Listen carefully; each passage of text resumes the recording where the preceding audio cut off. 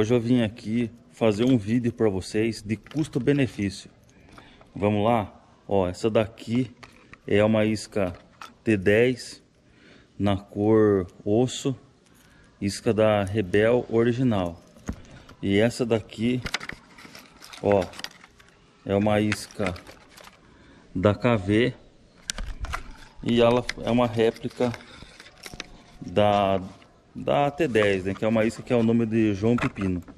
Então eu vou botar as, as duas iscas na água e fazer mostrar o trabalho delas para vocês. Beleza? Vamos lá? Ó, vamos tacar a T10, vamos tacar a T10 original. Bora lá? Vamos lá?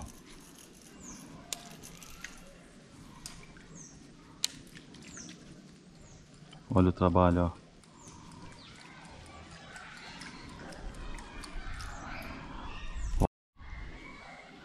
E vamos lá para João Pepino. Bora lá? Vamos ver se vale a pena.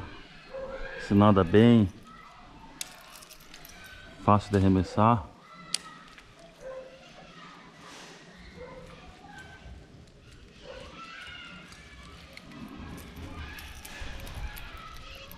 와